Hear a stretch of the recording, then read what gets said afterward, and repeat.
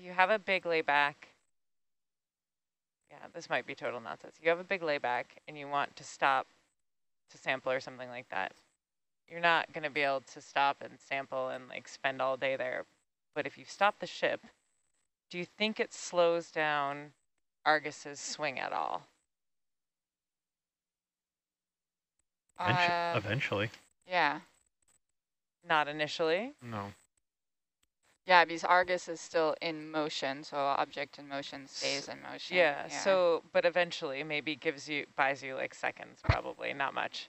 So the only advantage is really that you have of stopping the ship for when you're way laid back is that you have some time to deal with getting yourself untangled if you get behind yeah, or whatever. I agree. And it kind of gives you an opportunity to, yeah, reduce that layback and... Mm -hmm. Well, depending on the layback too, it will pendulum a little bit. It'll go, it'll go past where it wants to settle and then come back mm -hmm. a little bit. Oh, interesting. Okay. Um, are you in auto XY? I am not. Can We get a slight tilt, Gabby? Yes.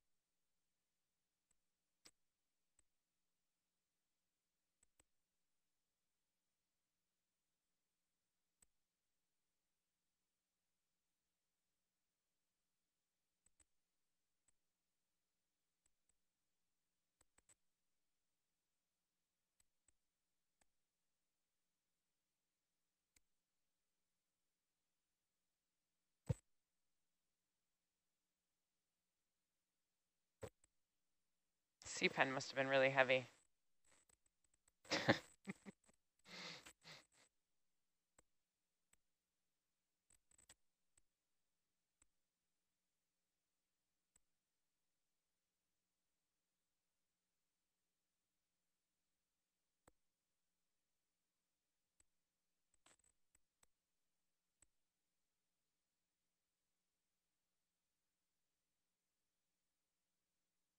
Okay. Go for zoom.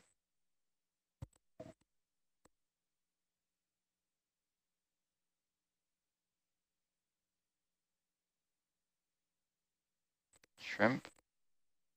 Looks very similar to the shrimp that we came up on that sponge the other day.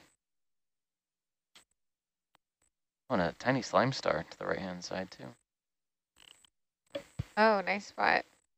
A little pink, kind of pink looking.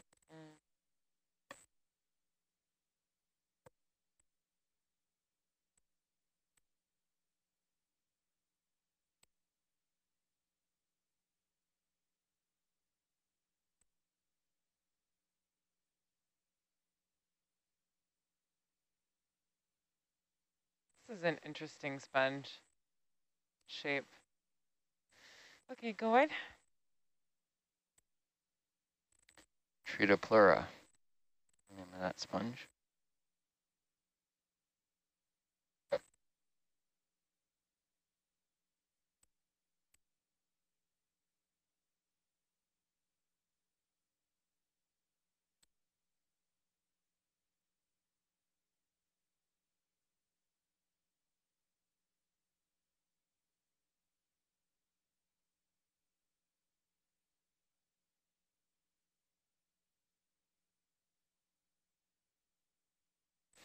To be a long day in the lab tomorrow or later today. Oh, yeah. I think it's during the daylight hours. And you have 40 plus samples? Ooh. Yeah, today it's, uh, we started at 21. Ah, okay. we're at 16. But uh, some of them are very, very involved collections, like the wood, the woodfall. What will it's you have to do take to a long time. Um, This is uh, looks like a stoloniferan here. This we collected a piece of that yesterday. Stoloniferous octocoral on top of a, a sponge rubble. The woodfall, um, a lot of the animals in a woodfall are inside of the wood, and uh, they're often very fragile. So we'll need to, to the best of our ability, break apart some of the wood into smaller fragments so that it can be preserved Oh, properly. wow. Okay. Do you have to Uh, like extract the animals out? You know, so it depends on in what state the wood falls in. If it's in a very Okay, go wide. poor state, it'll probably disintegrate. So, you know, in that case, we can probably just break off smaller pieces and then preserve some of the wood along with the animals so that folks who know more about the anatomy of these critters can do the dissection themselves. Okay.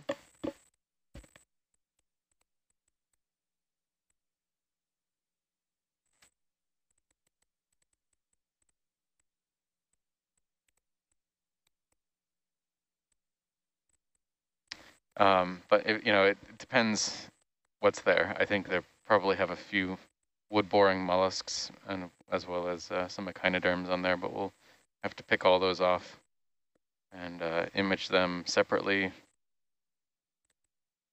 What else that we have? Do we have that? Can I do this for a second?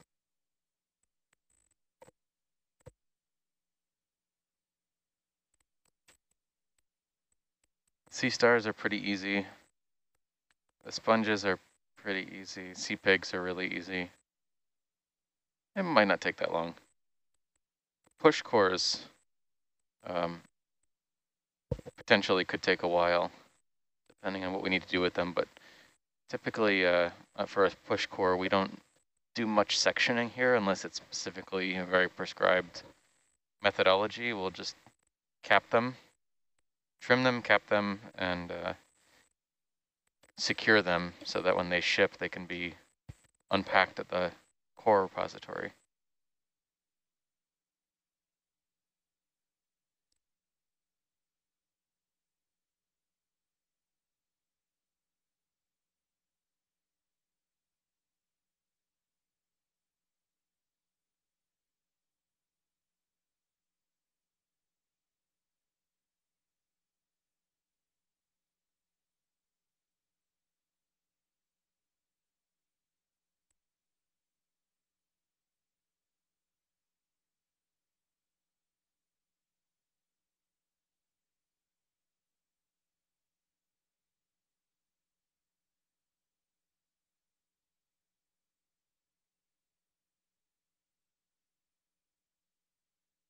Few different things here.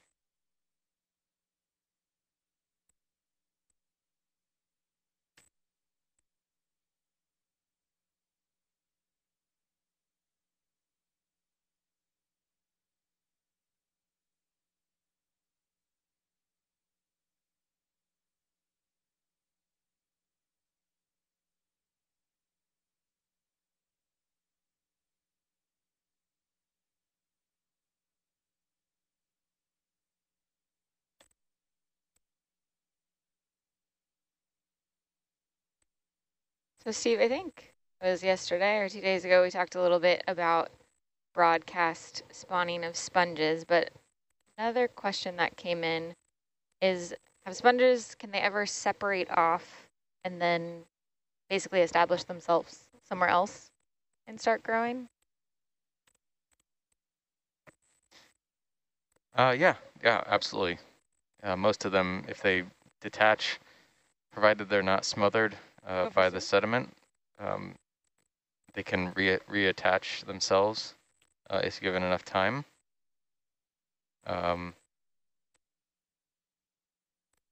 I'm not sure about maybe the, the really long stalked ones, Mhm. um, but definitely if it's kind of this more amorphous sponge or lobate sponges, they go on. typically will reattach multiple places, you know, if they're growing on the edge of a rock or something.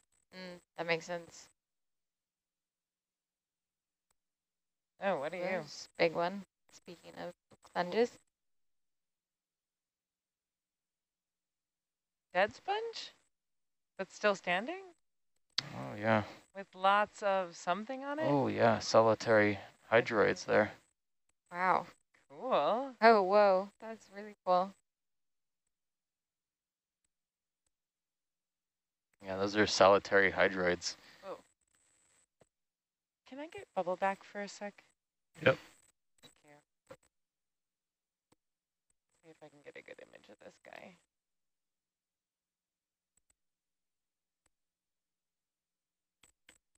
Yeah, these, these sponges are pretty nice habitat for a lot of other encrusting animals, attached animals, suspension feeders. This actually would be a really nice okay, zoom if we could get again. Oh, imagery I'm on it. good. I'm done. Maybe do one without the lasers too after we, uh, Under that.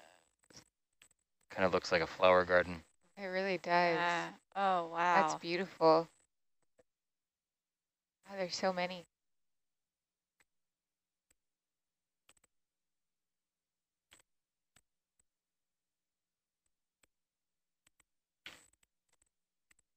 They're not so solitary. There's a huge little solitary hydroid party.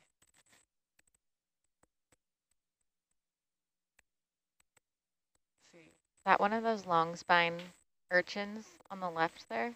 Did you Oh, that? yeah, yeah. Oh, uh, yeah. That's actually one of the ones that I think they collected a bit earlier. It's so wee. Yeah.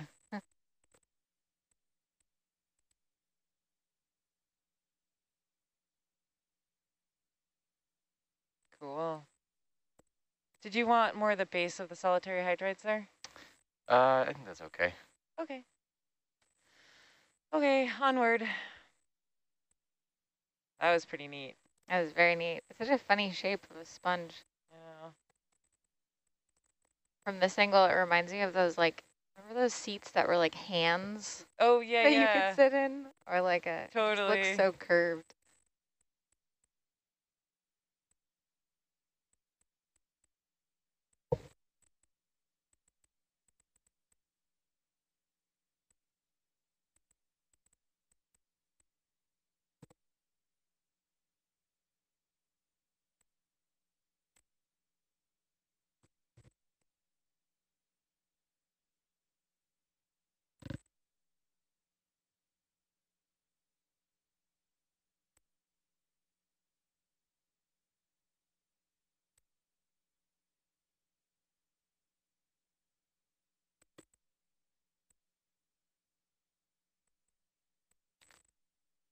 I'm, I'm wondering if they would, just looking at the weather forecast for the winds midday today, if the reason why they want to recover after breakfast is that the winds are expected to pick up.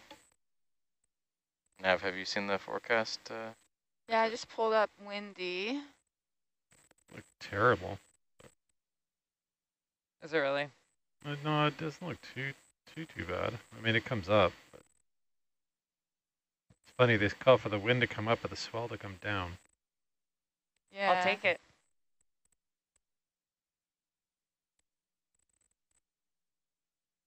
Um, I'd like some more rocks, please. more rocks? More rocks, bigger ones. Yep.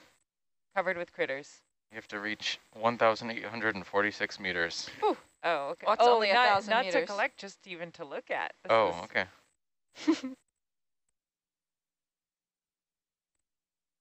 This is looking somewhat noduley. Very noduley. A nodule barren over Yeah, here. exactly.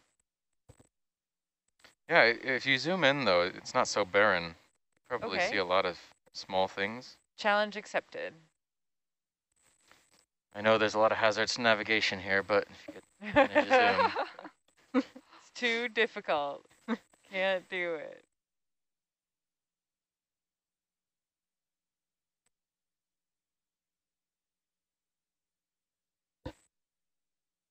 Okay, I found a spot with a little thing in it already.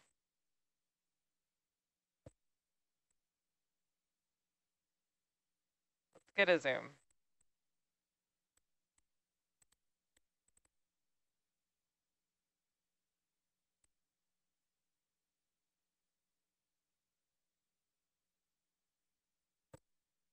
pretty lumpy nodules.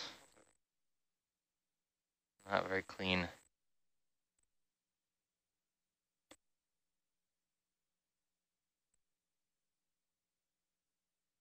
I'm just gonna float up a little bit so we can uh, see. Yeah, some even if you feel comfortable just kind of Yeah. moving across the bottom in a moderate to tight zoom, probably. Yeah, let's do a half zoom. I think if we're really tight, it'll just like be blurry, just disorienting. But well, there's a little macaroni sponge there, lower right corner. Oh, yep.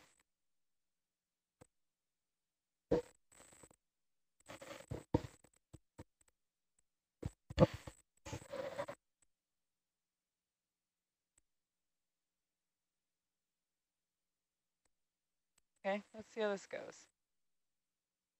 There's something tiny.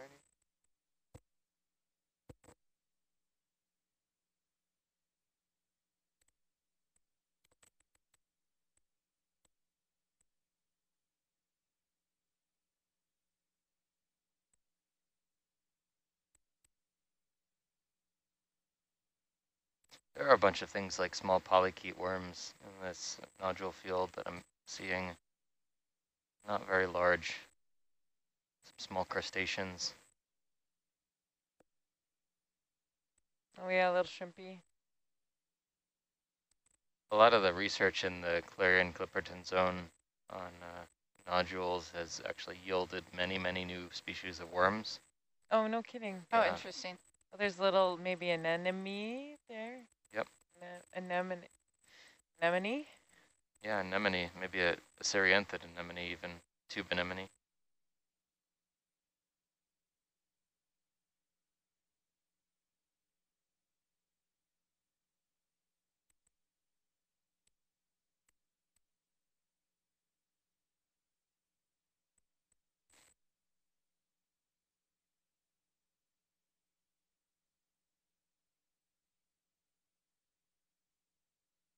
Great. We did a good zoom. We saw a bunch of things, nodules we wouldn't normally see from higher up.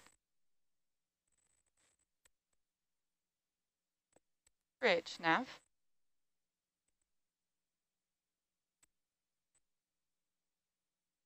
Can we please move 100 meters bearing 160?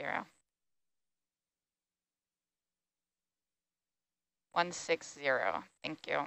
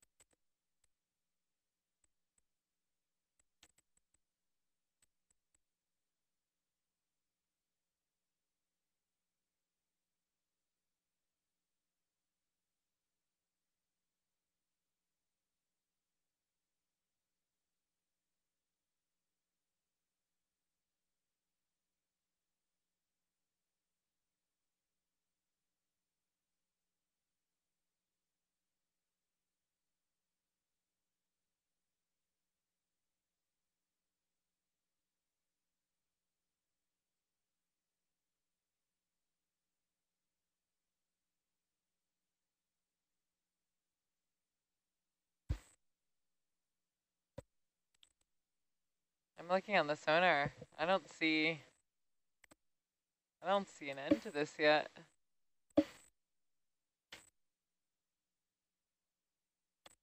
Just a lot of nodules. Yeah.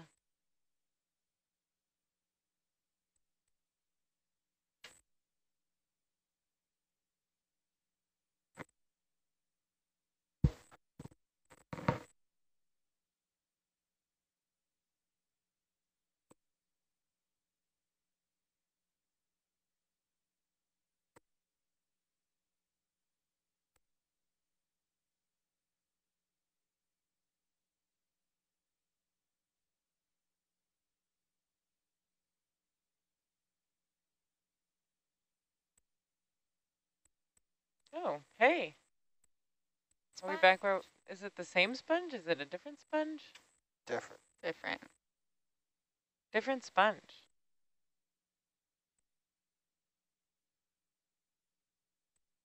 Similar though. I haven't seen very many live ones like this. If any. Go for zoom.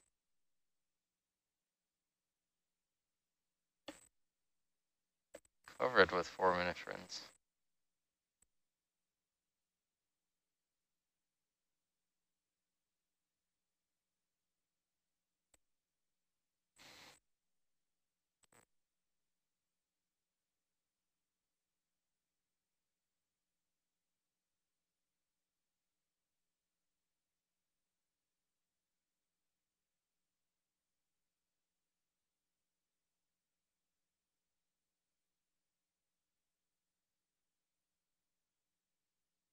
Okay, go on. Steve, when we see rocks like this in a big, like, nodule plain, is it most likely that they tumbled down and landed here, and that's why they're there, or They does could that be. not necessarily matter? Uh, it's tough to tell because you don't know how deep the sediment is here. You know, we are on the side of a volcano. The sediment can't go on forever. Yeah. So the more than likely, you know, it could just be a large boulder that's attached firmly in place, or could have fallen down from higher up.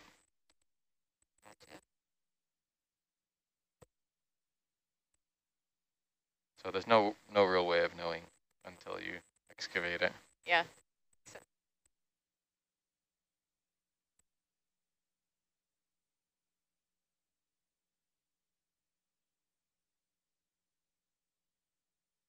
But you, you can probably have a good assumption that the larger the boulder, the less likely it is to move. Uh, which is why you will get bigger things growing on them. Bigger and longer lived things, corals and sponges. Like, just in front of us. Can we look at the one on the right hand side, that coral? Uh, the long stringy one? Uh, no, the yellowish one. Oh, yeah, totally.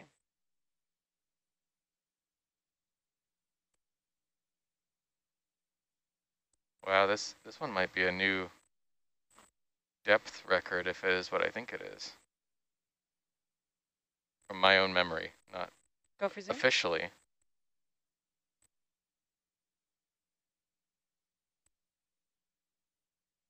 Can we, can we uh, do a sampling here? Maybe a snip of this Um, yellow coral, or are we going to move too far? Bridge, Nav. go wide. Josh, you want to get stop, this one? please. Sure. If possible, can we sit down and get a um, Yeah. tight zoom on it first? Yeah.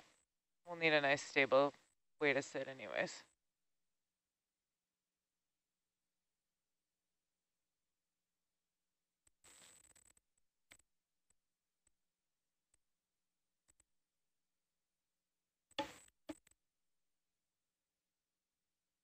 Okay, go for zoom.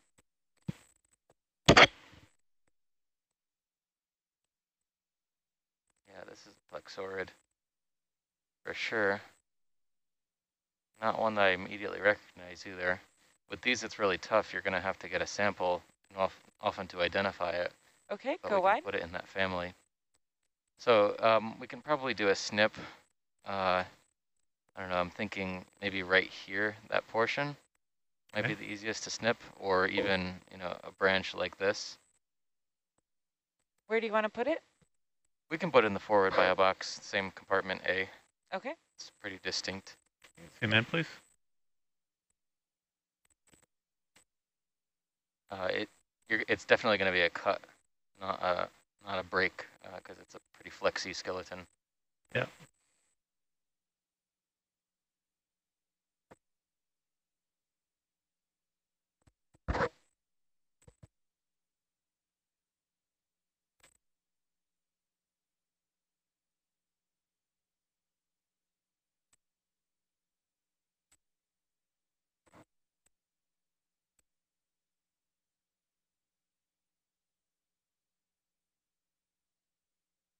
Tilt up, please.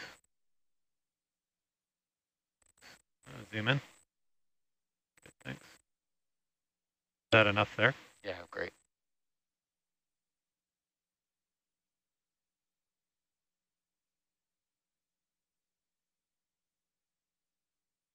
Right. Yeah.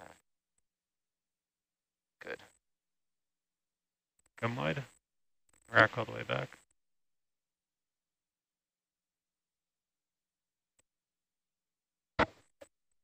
Do we need any more imaging here before it goes? Uh, yeah, can we get a zoom? We have time Sure. on the draw. Yep. Beautiful. Yeah, plexaurid for sure. Nice, okay. All set? Ready to stow?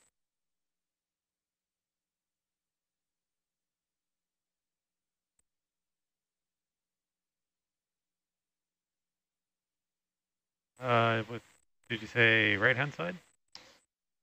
Uh, le left hand side if you can. Left hand side. Port side.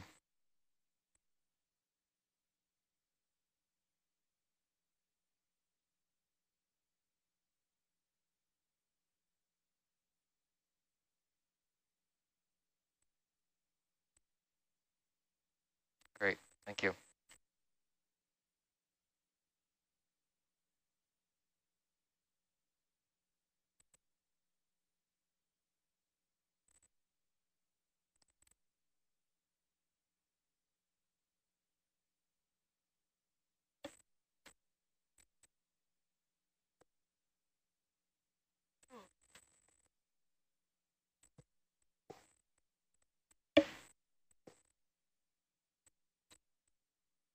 Cool. Nice. Ready to go? Ready to go? Cool.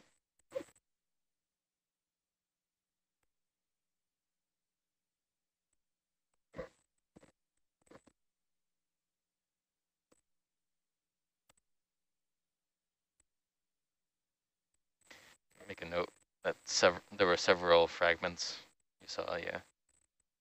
Make sure we get all those in the same bin.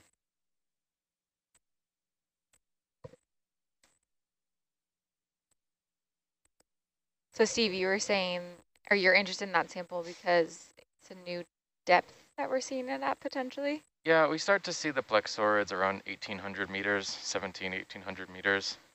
So it's a bit deeper, uh, but no, no, not outrageously deep. Um, but at the same time, these plexaurids are very difficult to identify in situ. Here's our biggest coral yet. Mm-hmm. Yeah, Oh yeah. it's a good size one. I knew the summit was going to get interesting. Pass it off to the next watch. Still 40 minutes. I mean, we could go the opposite direction. Go for zoom. no, we won't do that to them.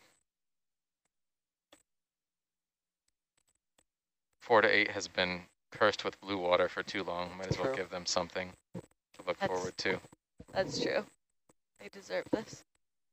This looks like a jade clay bamboo coral. Okay, going. Still got a little catching up to do here. Um, yeah, and the, the other component, why we want to sample these plexaurids, not only are they hard to identify uh, from the seafloor observations, uh, they are also one of the targets that we're interested in characterizing with our eDNA collections. So if we have a specimen of it, uh, we can isolate uh, DNA extracts from it and have a very good idea what the sequence material we are looking for in the eDNA profile looks like if they're shedding Okay, we can start up again if you want. cells into the water.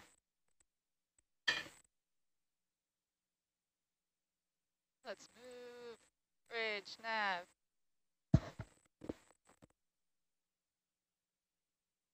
Are ready to get underway. Can we please move 100 meters, bearing 160? Thank you. Go for zoom.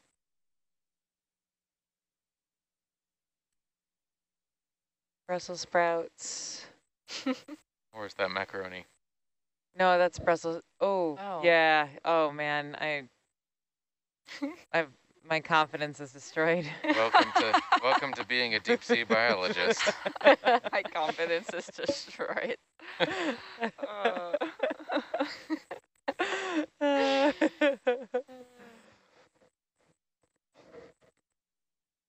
Just multiply that by 10 is what I feel on a daily basis about corals, especially yellow corals. I told the last cruise, like these yellow fans, they're definitely the ones that re make you think your life choices about studying corals. Why? yeah, I just feel like that's more serious than the fact that I can't place sponges in my made-up taxonomy of food.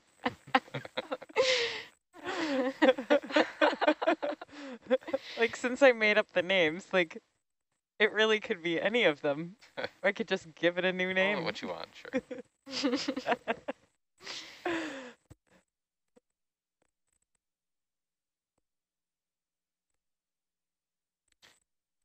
Which ones are the yellow corals? I'm not even sure I know what you mean by that. So I, I th there's multiple different kinds of yellow corals, but generally they belong to a couple different families, either the Plexauridae or the Acanthogorgiidae, Go for a zoom.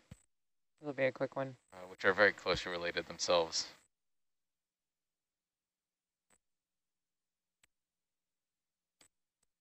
It's kind of an interesting Chrysogorgia morphology there. Yeah. Most likely Chrysogorgia Go ahead. genus. Sorry, yellow corals. Yeah, so plexaurids or acanthogorgids. Um, generally, the they, they're pretty color variable, but yellow is the predominant one we find in the deep here. Although they can be dark purple or dark blue, green. Um, what else? All all of those colors combined sometimes on one colony. Wow. Oh, Wait, have we seen these? Um, they're they're not as common down here, but if you were to go shallower than 1,500 meters, shallower than 1,000 meters, they they explode in diversity. Okay. And the shallower you get, so these are probably most likely shallow water corals that have invaded the deep sea. So they have originated in the shallows and diversified there, but you know some of them have extended into the deep sea, some lineages. So they're typically uh, more diverse, shallower in the mesophotic environments. There was a paper that just came out from uh,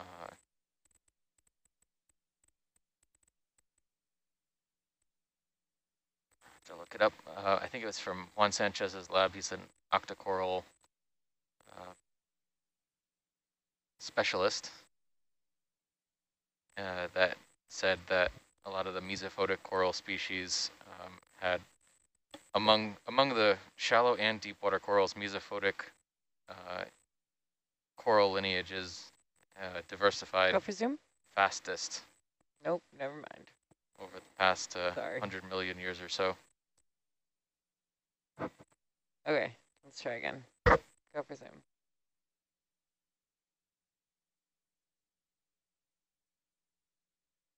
fact, I have that paper on my laptop. I was actually in the midst of reading it earlier today. Okay, that's macaroni though. Yeah, except that it's Right? tall like a Brussels sprout. Oh. No, no, I, would, no, I was no just thinking about how I like to put Brussels sprouts in my macaroni, but the thought I got stuck on is I'm a little bit hungry. That does sound really good.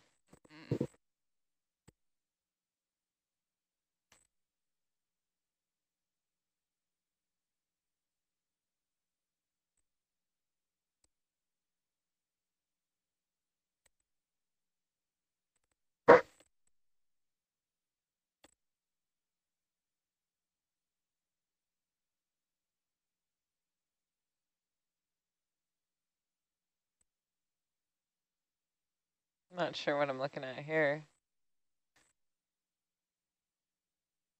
Sometimes you think you're looking at something and then you get there and it's actually just like a shadow or it was never there. Go for zoom. Especially this, it's almost the same color as the sediment Yeah. and like Oh. the hmm. right lighting. It's a not, not healthy looking macaroni sponge. Yeah, they're usually that iridescent white. It needs to sneeze. Okay, go wide. Sneeze it out, macaroni. I can't wait to watch that video. I know, I'm really excited.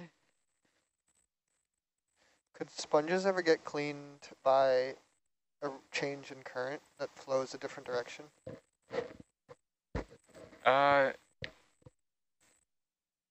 I guess they could, but I think the conventional wisdom is that they are specialized to a certain current direction, you know, prevailing current direction. So I, I don't know if, if the if a reverse current would be strong enough uh, to do that. We know very little about kind of the hydrology, uh, hy hydrography of all of these seamount environments um, to really say if they're if those currents even exist. Since a lot of these corals and sponges are pretty slow growing, if they start growing in a certain direction, they typically don't stop. They'll typically follow that trend.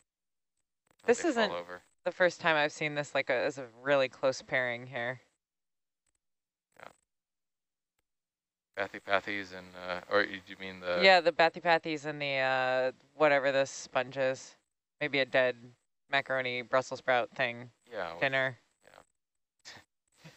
Dead foraminiferans and some brittle stars. Yeah, it's very close. They often have higher species diversity after they've died. Sponges. Oh, neat. Might be some shrimp in there as well as, you know, sometimes squat lobsters live inside the structures. Go wide. So the sponge must have something defensive on it to keep the diversity down on its surface so that it can do Yeah, spongy It things. could, it could.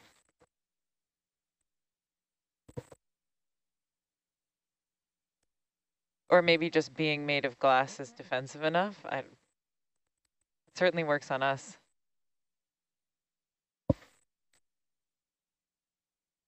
That's a great segue into a question we just got in the chat. Are all sponges glass oriented or are some made of different compounds?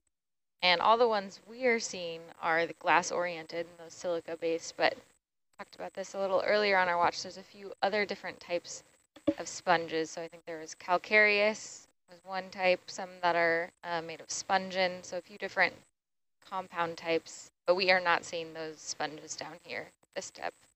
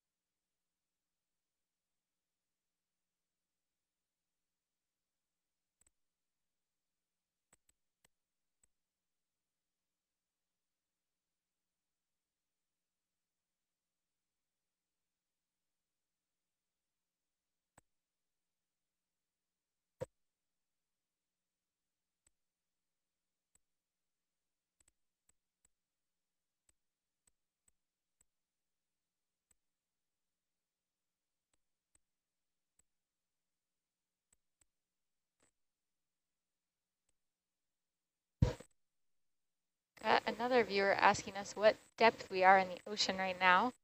And we are at 19,7 1,974 meters. Um, and if you go to the Nautilus Live homepage to watch our live stream, you can actually see um, some of our live data there. So we have ROV Hercules depth along with Argus, water temperature, and our ship heading. So you can watch um, that change as we go either up or down exploring. So you can always check there too.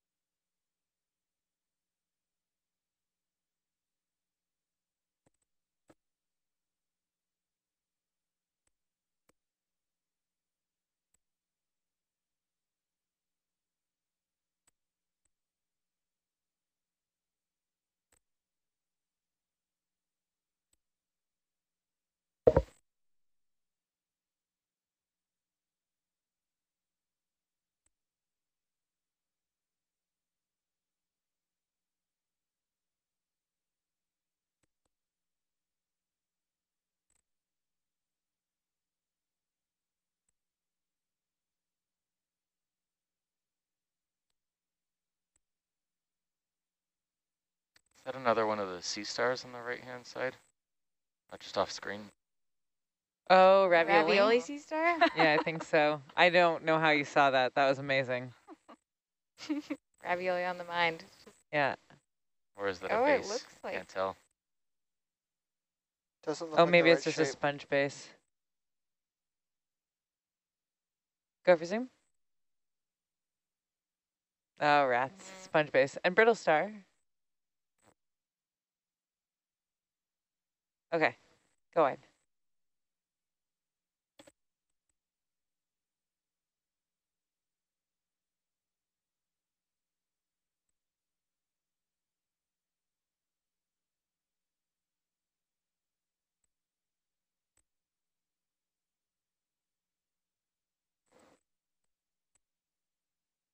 Next time I make ravioli, I'm going to make it five-sided.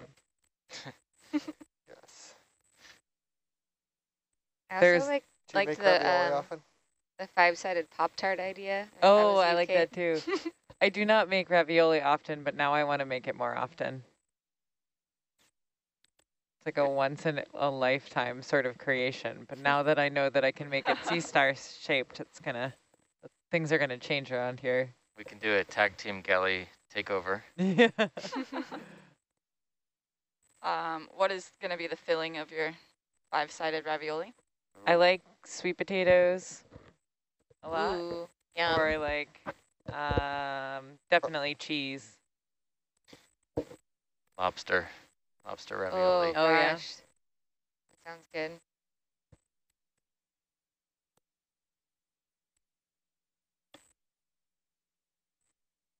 Not starfish. Doesn't Not, look not like realistic, you know, gonadal material. We we actually have like a press to make ravioli at home, and I bet you could like 3D print a five-sided one. Oh, I'll send you a photo someday if I think. Yeah, yeah, you definitely should should 3D print a five-sided ravioli press. That would actually be really cool. 3D printed goniasterids. Probably get some pretty good detail on those. Nice uh, orange black coral. Where? Oh, to the right, Right, right, right. the right. the the stick oh, the stick. Oh. whip. That's a black coral? Yep. Oh, cool. Okay, well, let's go take a look. I haven't seen one this dive, so I expect it. So we saw one on the last dive, or a few.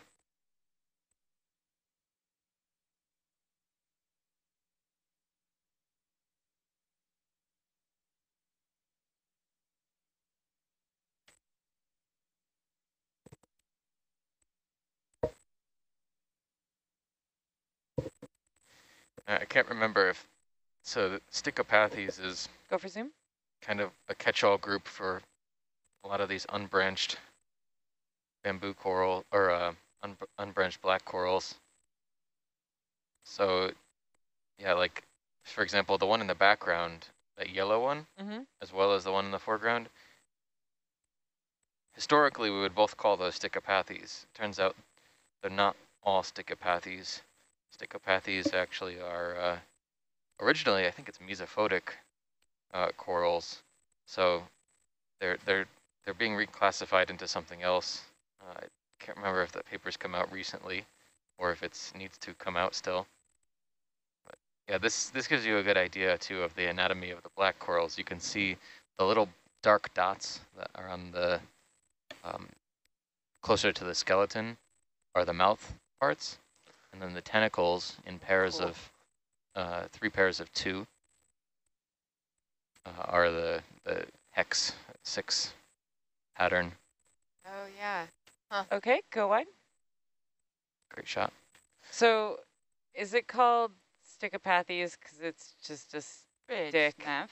version of the, or is that like spelled differently? It's um Stico with a 100 S T. meters, I C H O. bearing 160. Oh, Yeah. okay. So that's there's a Greek translation to that. Oh, we've got And an then- old, Don't quite remember it. old coral here.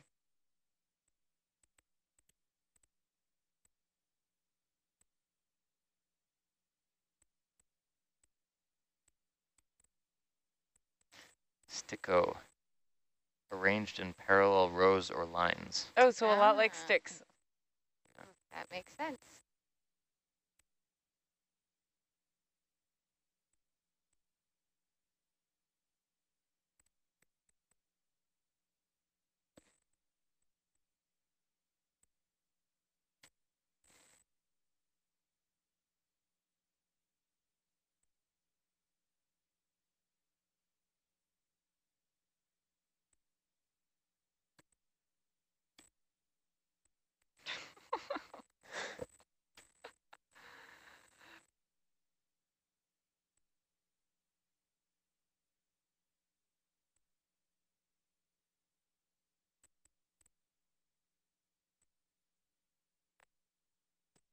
And it happens every four hours.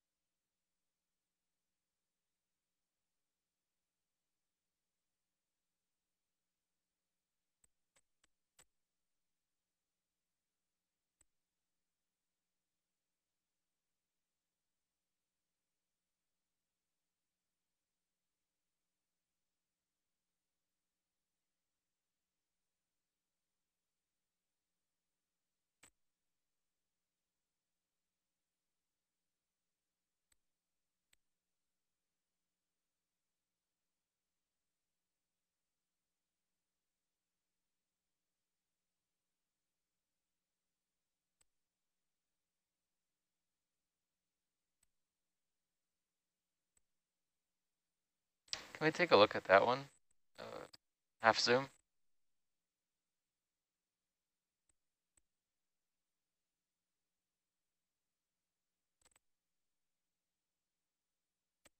Yeah, that, that one's a primnoid.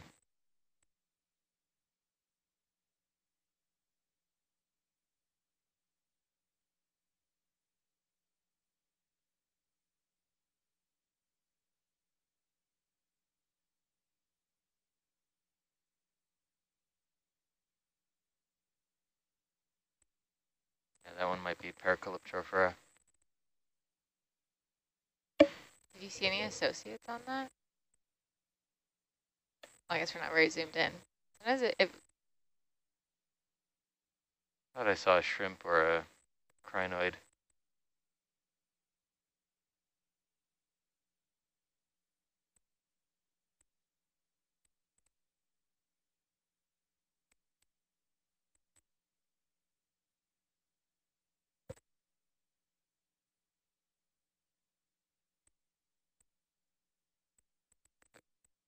Could also be Narella, not sure.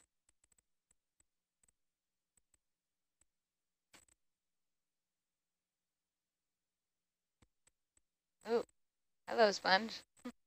Oh.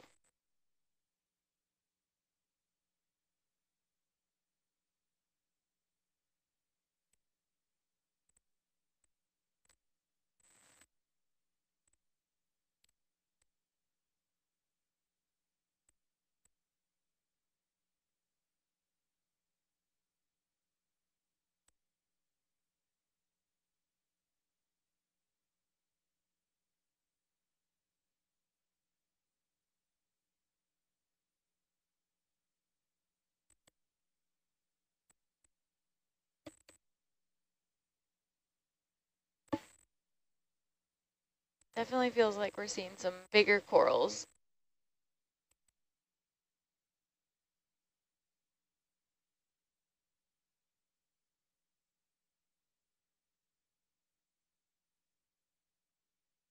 Hmm, a little fish.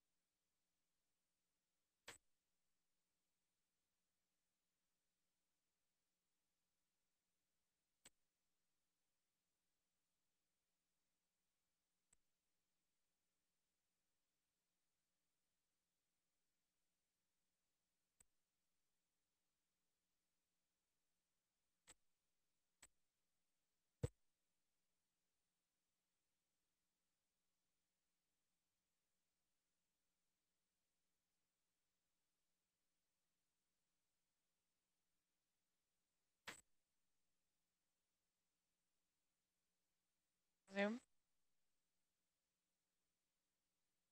Mushroom coral. Mastis or pseudoanthomastus. It's a little guy. Okay, go wide.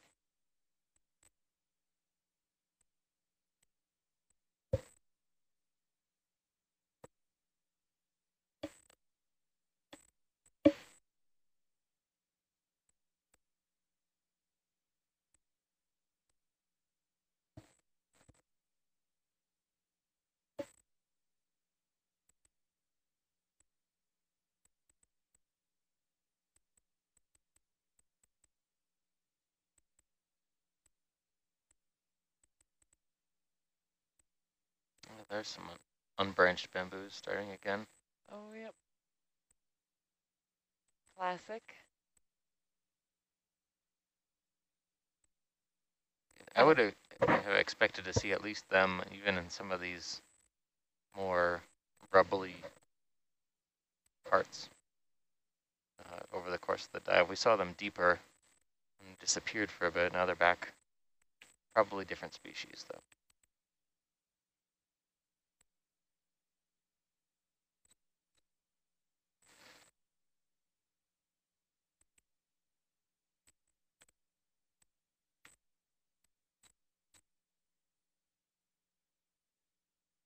Got a viewer asking if it's usually completely dark at this depth.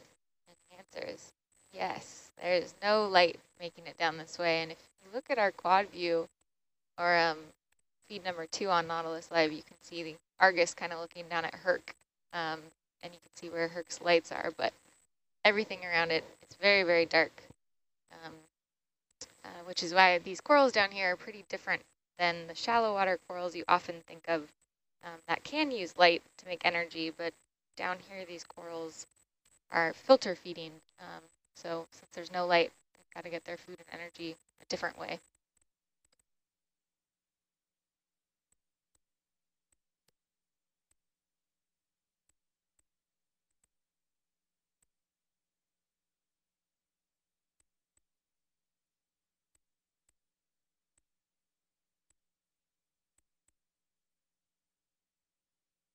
Is it? Candidella gigantea. That uh, unbranched whip there. Oh, yeah, okay, Can do a half zoom on that sure. to confirm. I don't think we've seen too many of those this dive. Go for zoom.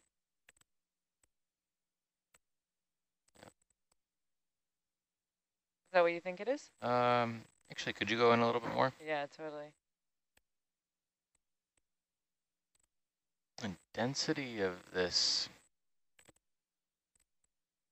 uh, it's probably Candidella gigantea, but the polyp density is, is high.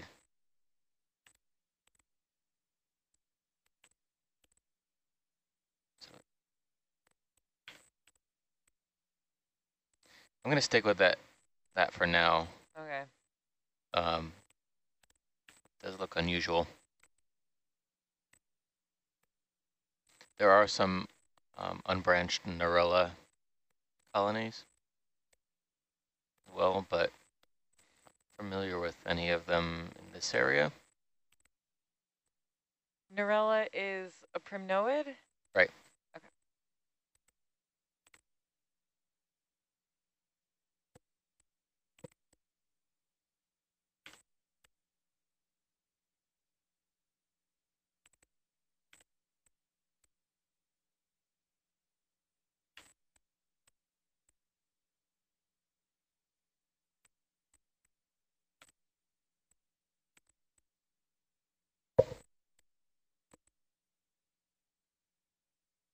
You can usually tell pretty easily if the polyps had been um, retracted and contracted at all.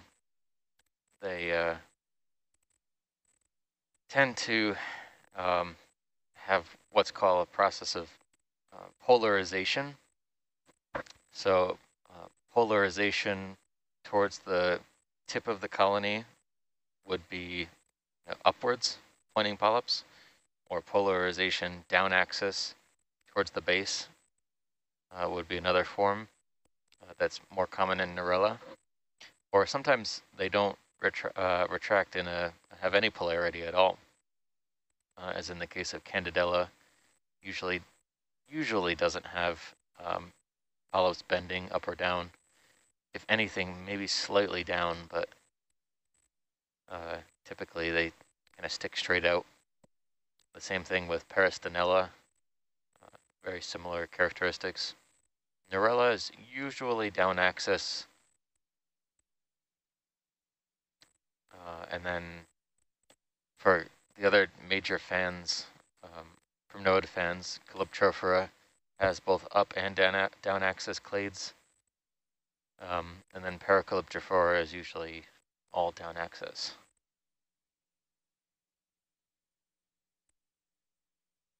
What else is there? What other primnoids are there?